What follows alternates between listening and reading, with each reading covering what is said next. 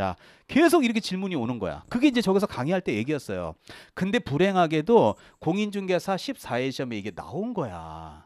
그러면 이게 대상물이 되고 안 되고에 따라서 답이 달라지니까 어떻게 썼는지에 대해서 끝나고 나면 하나 모자란 사람이 가만히 있겠어요? 이거 하나만 맞으면 내년 1년 고생 안 해도 되는데 그러니까 끝나고 난리가 났어요. 그래서 결국은 행정법원까지 갔습니다. 그러면 이제 법원에 갔으면 판결이 나왔겠죠. 판결문에 뭐라고 판시를 했냐면 자, 그 판결문을 제가 쉽게 설명을 해 줄게요. 자, 여러분이 가장 이해를 잘할 수 있는 게 뭘까 생각해 보면 저는 아파트라고 생각하거든요. 그러면 예를 들어서 여러분이 A이신데 자, 여기 푸르지오 아파트 708호의 소유자라고 치겠습니다. 그러면 제가 여러분한테 선생님 이 아파트 708호가 선생님 거 맞아요 하고 물어볼 수 있죠. 그럼 여러분이 선생님 제 거 맞거든요. 제가 하는 말. 꼭 어떻게 선생님 건지 제가 알아요. 그럼 어떻게 저한테 보여주실 거예요? 선생님 거라는 거, 여러분 거라는 거. 아유 선생님 잠 기다려 보세요 하고 등기부를 띄워왔더라고요. 그래서 등기부를 딱 띄워와서 갑구를 보게 되면 소유자가 나와요 안 나와요? 나오니까 여기 보시면서 선생님 여기 좀 등기부 보세요. 이게 A가 저예요. 그래서 이 집 제 거 맞아요. 그리고 선생님 제가 A인지 궁금하시면 여기 신분증 보세요. 맞죠? 그래서 이 집 제 거 맞거든요. 라고 얘기하신다면 제가 그러시구나 라고 인정을 해요. 그렇다면 제가 여쭤볼게요. 아파트는 중개 대상물이에요. 아파트는 중개 대상이 못 돼요. 제일 쉬운 만만한 거 아니야 아파트 그렇다면 왜 아파트가 중개 대상이 되느냐 물어보겠습니다 등기부가 있다는 것은 여러분 거라고 공시가 된 거예요 안 된 거예요 된 거지 아파트는 동산 부동산 이런 쉬운 질문이 어디 있어요? 부동산. 그러면 이 부동산인 아파트는 중개 대상이 된다 안 된다? 된다. 공시 동그라미. 부동산이다. 동그라미. 자, 제가 여기다 쓴 거 보세요. 공시 동그라미. 부동산이다. 중개 대상이 된다. 뭐가 달라? 그래서 결국 행정법원에서는 이거나 이거나 뭐가 다르냐. 물론 불안하긴 하지만 공시 방법으로서 명인 방법 정도면 충분하다. 지나가는 사람이 이걸 읽으면서 야, 요거 부러지면 내 거 되네. 요거는 소유자가 없다고 볼 수 있겠네. 부러지거나 잘라버리면? 라고 생각하는 사람보다는 이거를 읽는 순간 소유자가 명백하게 있다라고 인식하는 게 당연한 거기 때문에 공시 방법으로 충분하다. 그래서 이거는 움직일 수 없으니까 공시 방법이고 부동산이면 중개 대상이 되듯이 공시 방법을 갖추고 부동산이면 중개 대상이 되듯이 명의 방법 같은 수목 집단은 중개 되는 걸로 보자라고 판결한 거야. 그래서 2003년도에 행정법원 판결이 나왔기 때문에 여러분이 이제 봐요. 32회 시험이니까 2021년도에 시험 보시니까 어때요? 후배인 여러분들은 여러분의 선배들이 투쟁해 놓은 결과가 있지. 그럼 어떻게 이참에 시험 보고 한 번 더 뒤집어요. 그냥 쓰고 졸업해요. 졸업하면 되지 뭘 또 뒤집어. 예. 그러니까 여러분은 선배들이 다 투쟁해 놓은 거 후배로서 그냥 돼요 안 돼요? 돼요. 합격. 그러면 끝나는 거야. 그러니까 선배들이 다 이게 닦아 놓은 것들이야. 자, 그래서 이제 결론적으로는 명인 방법 같은 수목 집단은 중개 대상이 된다 안 된다? 된다. 라고 말하자마자 바로 밑에 보면 파란 것이 3번. 자, 초록색에 그 밖에 대통령령이 정하는 재산권 및 물건 보여요? 자, 시작하자마자 쌍가로 1번에 자, 임목에 관한 법률에 한 임목이라고 써 있죠. 근데 내가 이제 물어보고 싶은 거야. 1번에 보면 임목이잖아. 목이 무슨 목이에요? 나무 목 모르는 사람 누가 있어요? 여기 봐봐요. 자, 지금 여기다가 봐봐요. 이거는 명인 방법에 의한 임목이에요. 이건 수목이에요. 수목 할 때 목이 뭐야? 나무 목이지. 그 순간 이건 수목이라고 부르잖아요. 명인 방법에 의한 제목 보세요. 동그라미 2번. 명인 방법에 의한 수목이지. 근데 지금 밑에 3번에 쌍가로 1번에 동그라미 1번을 보면 거기는 임목이라고 써 있지.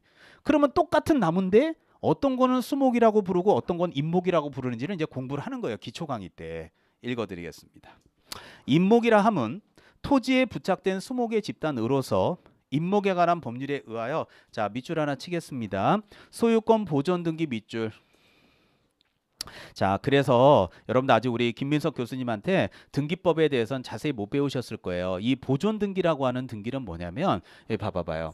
여러분이 땅을 갖고 있는데 여기다 건물을 졌을 수 있죠. 그러면 건물을 졌다는 얘기는 건물을 짓자마자 이 건물도 건물 등기부를 만들어야 돼요. 등기부를 안 만들어야 돼. 처음에 만드는 등기, 등기부를 만드는 등기를 보존 등기라 그러는 거야. 그래서 처음에 등기부를 창설 신설하는 등기를 무슨 등기라고 한다고요? 보존 등기. 그러니까 이 느낌을 딱 잡아보면 아 결론은 임목이라는 것은 등기한 나무를 말하는구나. 등기하지 아니한 일반적인 나무는 뭐라고 불러요? 수목이라고 부르는구나라는 걸 여러분이 깨달을 수 있는 거죠. 그래서 나중에 혹시라도 제가 물어보면 수목과 임목의 결정적인 차이가 뭐예요? 그러면 등기 여부요라고 얘기하시면 여러분 1월 달에 공부 잘하고 오신 거예요. 기초 잘 들으신 거예요. 자, 읽어 드릴게요. 그래서 소유권 보존 등기를 받은 것을 말하며 임목으로 등기할 수 있는 수목의 집단의 법인은 한 필 토지에 또는 한 필 토지의 일부에 성립하고 있는 모든 수종의 수목으로 한다라고 적혀 있습니다. 자, 그렇다면 이제 고민스러운 게 있죠. 저 좀 잠깐 보실래요?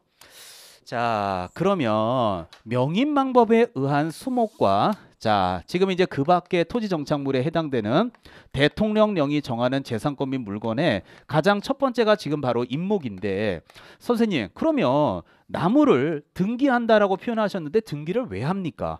그냥 명인 방법만 있어도 충분히 중개 대상이 되는데요. 거기에 대한 해결책을 제가 말씀을 드릴게요. 자, 그림 하나 또 그려서 예를 들어 볼까요? 자, 여러분이 시 외곽에 이렇게 주택을 하나 갖고 있어요. 금액은 작게 할게요. 근데 여러분이 갖고 있는 이 토지하고 건물 가격은 그냥 금액은 작게 1억 정도 한다고 칠게요. 근데 여러분이 8천만 원이라는 돈이 지금 필요해 사업하시는데 그러면 8천만 원이라는 돈을 만드는 방법은 간단해요. 집 팔면 되지. 그래서 8천만 원 해결하면 되지.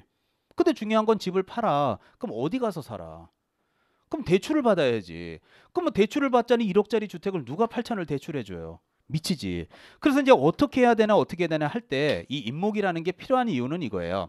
여러분이 그래서 마당에 나와서 한참 고민하고 있는데 자 말도 안 되는 소리를 제가 한번 해볼게요. 자 뒷마당에 이렇게 나무가 한 그루 있는데 이게 몇백 년 된 나무인지는 모르겠는데 자 500년 된 향나무가 하나 있다고 칠게요. 근데 이거를 가치가 꽤 나갈 것 같아서 조경업자한테 물어봐. 전 이거 금액 이런 거 몰라요. 그냥 하는 얘기니까 거기에는 뭐 귀담아 듣지 마십시오. 근데 조경업자한테 물어보니까 한 3억 정도 받을 수 있대요. 말도 안 되겠지만. 그러면 여러분은 무슨 생각을 하냐면 가만히 있어봐.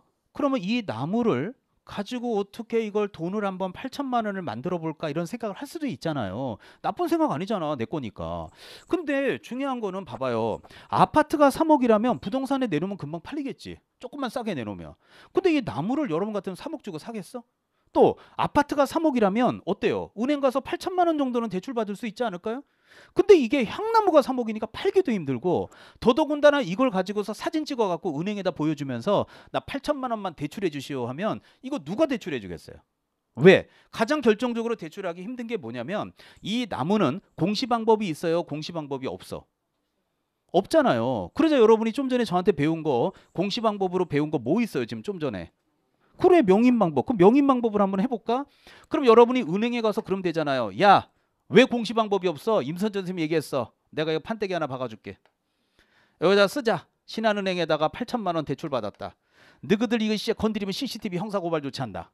그럼 여러분이 은행에 호수룩해서 알았어요 대출 해주겠어요? 어 미친놈이 새벽에 잘라버리면 8천만 원 뛰는데 안 해준단 말이야. 그럼 어떻게 하라는 얘기야? 가치는 분명히 있는데. 그래서 이 나무를 등기를 하는 거예요. 등기를 했다는 얘기는 자 우리 김민석 교수한테 배워보면 등기부는 표제부 갑구 을구가 있단 말이에요. 그래서 표제부는 빼버리고 갑구하고 을구만 갖고 강의를 해보면 여기는 갑구 있죠. 갑구는 소유권의 객체가 되고요. 그 다음에 을구에는 저당권의 객체로 삼을 수 있단 말이에요. 그러면 자 보십시다.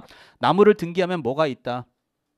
얘기해 줘봐요. 뭐가 있다? 을구. 을구가 있다는 얘기는 은행 가서 대출 받을 수 있다 없다? 있다. 자 대답 잘해 주셔야 돼요. 아까 분명히 제가 1교시 때 금전 소비대차 계약이라는 거는 중개 대상이 아니다. 하지만 금전 소비대차 계약이라 하더라도 부동산에 대해서 저당권 설정 계약 자체를 알선하는 경우라면 결론 저당권 설정도 중개 대상이 된다 안 된다? 된다. 그렇다면 저당권은 개공기가 도와줄 수 있죠.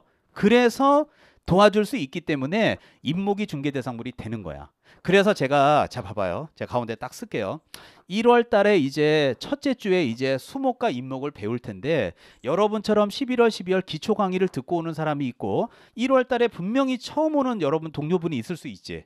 그때 제가 여러분 처음 오는 동료들한테 물어볼 거야. 자, 11월 12월에 들은 분들이 수업할 때 들으신 분이 대답해 보세요 하고 제가 질문 드릴 건데 그때 여러분이 얘기해 줘야 돼. 왼쪽은 뭐예요? 오른쪽은 뭐예요? 자, 여 결정적인 걸 한번 얘기해 봐요. 제가 질문할게요. 그때 진짜 두 달 있다가 수목과 임목은 결정적으로 뭐가 달라요? 아, 등기는 내가 좀 전에 얘기한 거고 등기 말고 또 또 또 또, 그렇지 이 수목은 명인 방법을 갖췄다라고 했을 때 이거는 관리 주체가 있다. 건들지 마라. 소유자가 있다라고 하는 소유권만 표기할 수 있는 공시 방법이지. 하지만 등기부는 소유권만 표기할 수 있는 공시 방법이에요. 저당권도 표기할 수 있어. 그래서 등기보다도 더 확실하게 개념을 확 잡는 방법은 선생님 저당권 객체 여부의 차이가 있잖아요. 하고 대답하면 어우 이거 정말 열심히 공부하고 다니시는구나 하고 제가 인정할 수 있어요. 어떻게 두 달 있다 대답할 수 있어요. 유통기한이 지나요. 유통기한이 지나요. 그때 대답하면 여러분 진짜 열심히 하시는 거야. 그래서 자 그러면 여기 잠깐 봐봐요. 자 그러면 자 하나 더 만약에 은행에서 그래서 8천만 원 대출 해줬죠. 대출을 해줬는데 언 미친 놈이 새벽에 나무를 베어 버렸어. 그러면 요게 베어 베고 나면 베어낸 수목이 보이죠. 언 놈이 베어 버렸다고요. 그럼 베어낸 수목 보여요? 여기에도 은행의 저당권의 효력은 미쳐야 될까요? 미치면 안 될까요? 아 여러분이 은행이라고 생각해봐. 8천만 원 대출해줬는데 어떤 술 먹은 사람이 저녁에 술 먹고 잘라버렸대. 그러면 은행의 저당권 효력은 이 베어낸 수목에도 은행의 저당권 효력은 미쳐야 돼, 미치면 안 돼. 에? 미쳐야 돼, 안 미쳐요?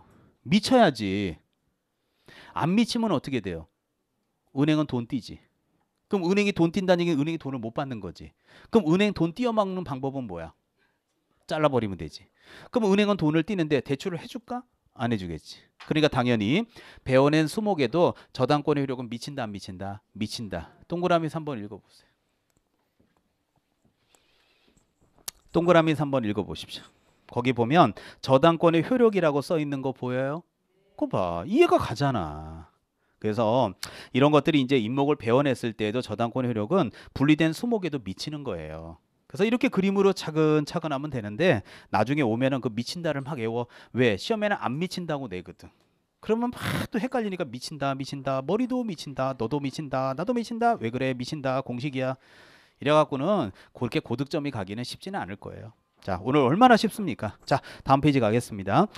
자, 이제 다음 페이지에 그 25페이지에 보면 자, 요번 공인중개사 31회 시험에는요. 그 공장 및 광업재단 저당법이라고 써 있죠. 저당이라는 건 제표 먹는다는 뜻이에요. 근데 그 옆에 보면 광업재단과 공장재단이 있는데 요번 공인중개사 31회 시험에는 공장재단이 시험에 출제했습니다.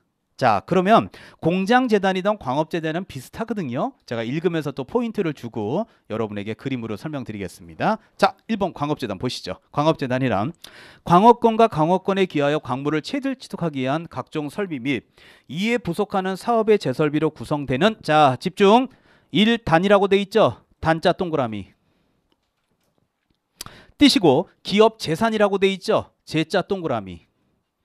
그러면 동그라미 친 거를 거꾸로 읽으면 어떻게 돼요? 그게 재단이라는 거야. 이거로서 공장 및 광업재단 저당법에 의해서 등기를 하게 되거든요. 그러면 등기를 했다는 얘기는 여기 잠깐 봐봐요. 등기를 했다는 얘기는 각구가 있고 을구가 있죠. 각구는 무슨 권? 그러니까 이게 등기법 다 배워요. 그러니까 처음이니까 아직 표제부가 뭐고 몰라도 돼요. 이제 배우게 되니까 한 코스만 들어봐요. 다시 각구에는 무슨 권? 소유권. 을구는 저당권이니까 거기 보는 대로 소유권과 저당권의 목적이 된다고 써 있다는 얘기는 등기되는 걸 말하는 거야. 그래서 이런 등기를 재단 등기라고 표현을 하는 거예요.